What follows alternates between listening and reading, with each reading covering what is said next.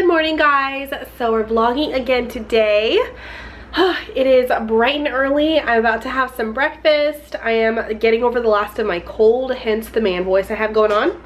Today, um, I am filming a lot of videos.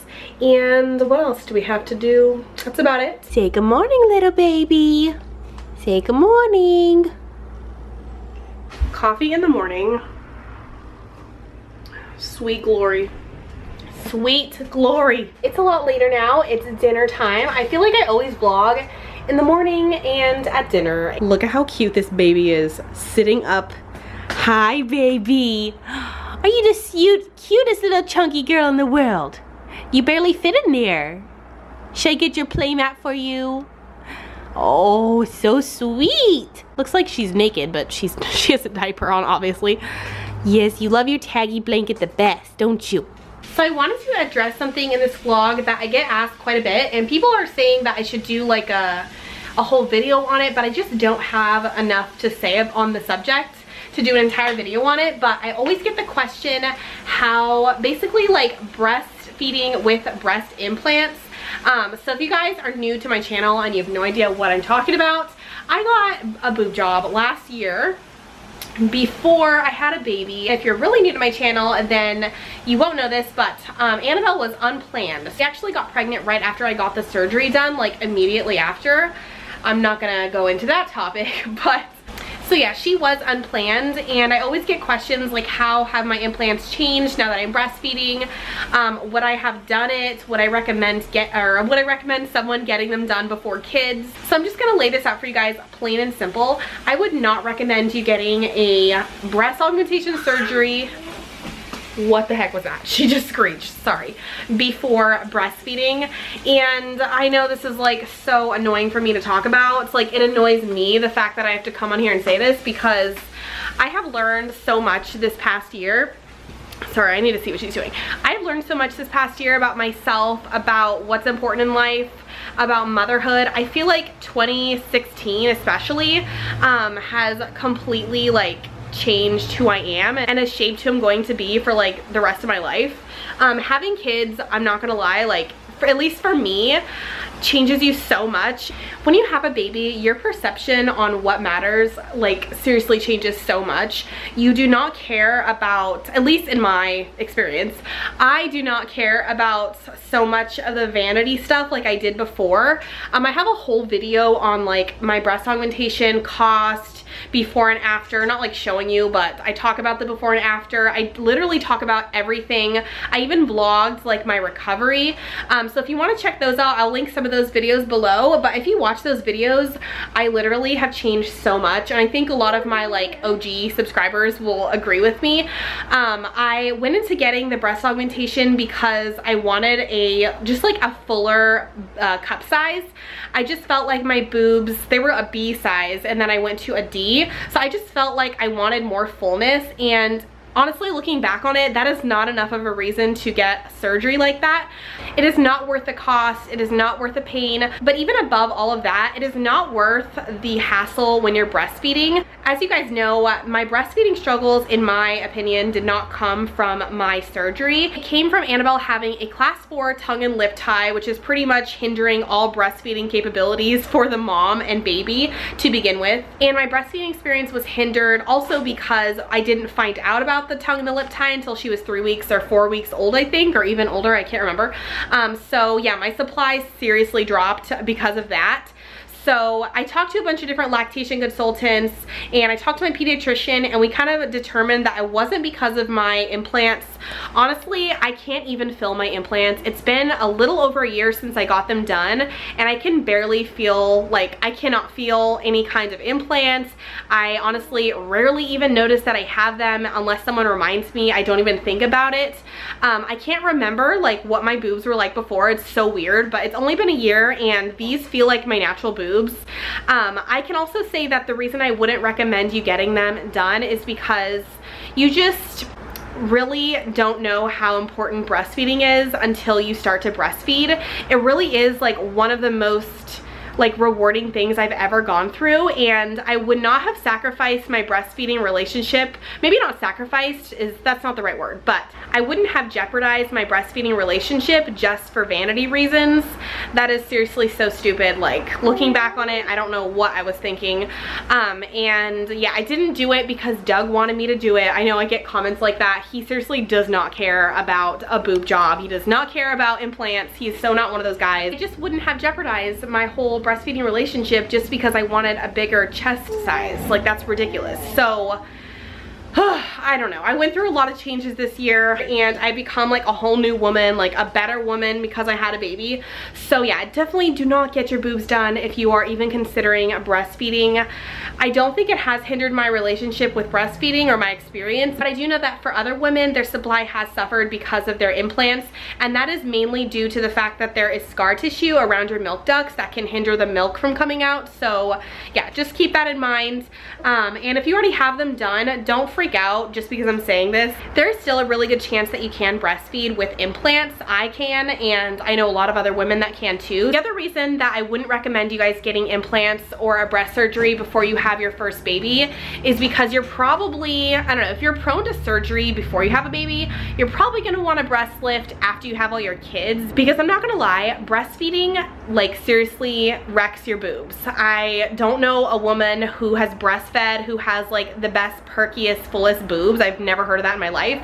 Every woman that I've talked to who has breastfed in my family and amongst my friends and just other mothers that I know, they just tell me all the same thing that breastfeeding wrecks your boobs and it makes them saggy, it makes them lose a lot of breast tissue. Um, I've already experienced the slight sagging of my boobs and not so much the breast tissue because obviously I have implants, but my boobs are not as perky and I've only been breastfeeding for four months, so I cannot imagine what they're gonna look like after I have two kids. It's gonna be crazy, so I'll probably wanna lift and I'll honestly probably want to remove my implants. Not sure, haven't thought about that. This is gonna be like years from now gotta pick up the baby.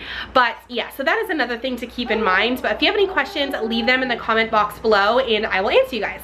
You guys are always asking to see how I make things and this is definitely not a recipe. I just basically put everything I have in the fridge that makes sense on a taco on some tortillas. So I just have little flour taco tortillas. Um, I usually don't like the flour ones, like I only eat flour for burrito, but Doug requested these, so yeah. Um, basically I just have sour cream salsa steak, and then I also fried some bell pepper and onion and put that on there. And then after that, I just put cherry tomatoes and some avocado. Then I just top everything off with lettuce and cheese. And these are like mini burritos, but they look pretty good. The baby's naked on her playmat holding her toy, which is a new thing. She's been like grabbing for things. Oh, are you sick of that already? Time to move on to the next.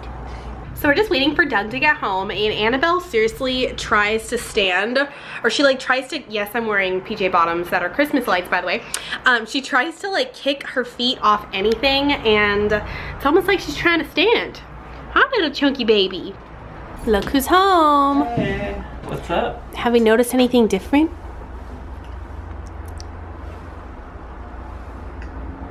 There's a naked baby. Oh, I was gonna say she has no clothes on. Hi, Annabelle. You having a good time with mommy? You just hanging out? Yeah, look at that smile. Oh, I went from smile to inquisitiveness. Uh, what? Doug, everybody says that 13 Reasons Why gets really good and everything makes sense well, at the end. watch it then. I know, we will. It's hard when you have a baby. But they say, I know. Well, we did watch it last night, mm -hmm. but they did say that, um, like you really like, you feel bad for her in the beginning, and but you don't really like know why she's blaming all these people. Mm -hmm. And then all of a sudden you understand. Got it. So now it just motivates us to watch it. All right, well then let's finish it tonight. All right. So Annabelle fell asleep on the boppy. She was really tired and that means we're not going on a walk. Someone said that they love me even more because I like butter pecan. what do you have to say about the ice cream, Douglas? Okay, nobody needs to see making love to your ice cream.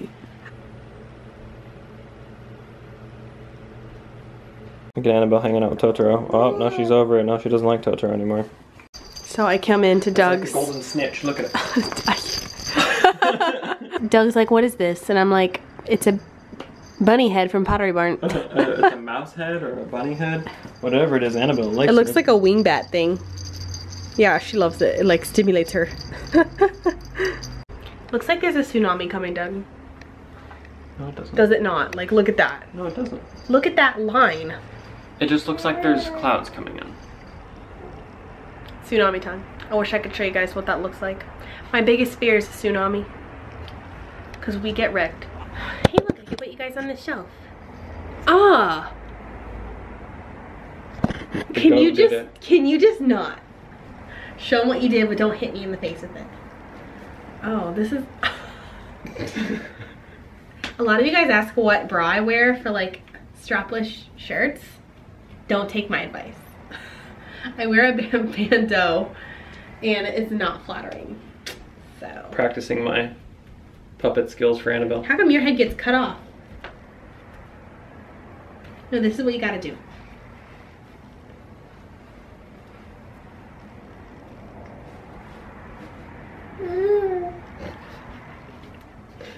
If you, if you really want to see what goats do, it's more like this. Look, they go. Now they can't see. Oh, what the? no, come back. What? They come. This is what goats. Scares I'll, I'll be gentle. This is what goats do. They're like. yeah, like a back, back flip off of the rock or whatever. This is actually my goat. Its name is Snowball. Okay, and let's fun, not get too wild right now. What? Fun Telling fact. everyone about Snowball. Fun fact about this goat, my sorority found out that I like had goats growing up, goats and sheeps and a pig, sheep and a pig. Oh, and they thought it was like the funniest, weirdest thing ever. So my roommates hid this goat all over our apartment. That stupid goat. I'm pretty sure one one time it was in the freezer. Yeah. One day she's gonna be able to sit up. Actually, you probably won't even look at her by then.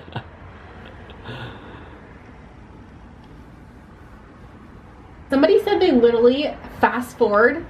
to Annabelle parts. Yeah, I was like rude. Well, I mean, how can you disagree with this little face? Look at this. Look at that face. Oh. oh. Okay, so we're gonna do comment of the day before I fall asleep and forget. And before Annabelle gets cray cray. But anyways, this one is from Sasha Girl 1013. She said, was it love at first sight with you and Doug? Y'all are so darn cute and we all know what a gorgeous baby y'all make. It sounds like you're from the South. Thanks for letting us know when we. I feel like we might have answered this. But no. Yeah, it was. No, it wasn't Doug. Was for me. You're just saying that. Depends on if you want me to tell the real story. You've already told the real story on my channel. Have I? Yeah. Oh. Tell a really shortened version. Um, so Hayley was a year, joined uh, Greek life a year after me. And then there's always a picture of all of the new girls that join each sorority, or at least for Hayley's. And I was going through them with one of her sorority sisters and a couple of my friends. And I saw Hayley and I picked her. Okay, but that wasn't love at first sight. And I said dibs. I was blonde in that picture, by the way. So what does that say? I call I called dibs. And now He that did. We have a baby. okay, that was like six, five years ago. But I wouldn't say it's love at first sight. Okay, the only thing that's at first sight is lust. Let's be honest. But I do have to say that there was some kind of like weird like connection at first sight, like without talking. I was like, I'm gonna have her baby. Ew, what a freak. Yeah, what do you mean you're gonna have my baby? I'm a, I'm gonna make her a baby. okay. This is from Asher S. Hayley, I bought my first robe this weekend because of you, lol. Oh, yeah, robe life. Robe You're never gonna go back. I've converted all like seven of my friends to the robe life. You just don't need to wear clothes. Oh. You don't need to put on pants. You just put Oh. on a oh. robe. What, Doug? Yes, robe life, whatever. Comment below if you know what I'm talking about. Oh. Oh. All right, last comment. This is from Kangaroo Mommy. She says, I know you guys don't love the idea of moving to Plano, but North Dallas Fort Worth is great for families. You could rent slash buy a house and pay for landscaping for less than your current rent. Yeah, we know, way less than our current rent. Yeah, definitely. You guys would never believe the rent in our area if you're not from the area. If you're from it, you know exactly what we're talking about. Yeah, it's pretty bad. I was talking today about how I like fantasize about moving, but we don't think we could leave our friends or family. Yeah, it'd be kind of tough. But we're still thinking about it. But Maybe when we day. look at, like, people here don't even talk about acreage. We just talk about square footage. Yeah, And literally. In other I didn't think of the about country, they're like, oh, it's on, you know, half an acre, one and a half acres. Out here, it's like, oh yeah, that's, you know, 1,100 square feet, 1,200 square feet. And it's ridiculous because we are like 25 and we live amongst like millionaires, but we can never afford the lifestyle that they have. No, let's, Like I feel like, yeah. what? We don't live amongst millionaires. We The houses happen- around us. We just happen to live near some, like near all of these millionaires. I mean, they're not living in our like No. apartment complex. No. What I was trying to say is in our area, like in our city, Oh like yeah. right across the street. I there's like you know God, so many people with my money. My parents came into town. They were like, "Oh, look, a Tesla." And I was A like, Tesla, a okay. Tesla, a I know. But yeah, so like, it's We've never annoying. seen one of those before. It's annoying. We actually almost moved to Texas Tesla just this drove past by. year, Oh yeah. But we didn't because we just didn't work out. Mhm. And you guys, I cannot leave the beach. I know. Like it's like my soul is in the in the water. Not Doug cannot say the same for no, himself. I can't. Anyways, thank you guys so much for watching today's vlog. If you liked it, then give it a thumbs up. Annabelle's getting cray. Um, no, she's about putting- that time. She's giving a thumbs up. Look. Oh, tiny thumb. Oh, like if you like. Okay, Doug. That's my favorite saying. If I were to have a shortcut, don't a do shirt, that anymore, listen, Doug. Listen, people are like, you need to put "huh Doug" on a shirt or "huh baby" on a shirt. No, I want a shirt that says "like if you like." Then, then People it's be just like- a thumbs up. That's all I want. Anyways, subscribe if you're new to my channel. Yeah. And we will see you in our next vlog. Bye, guys.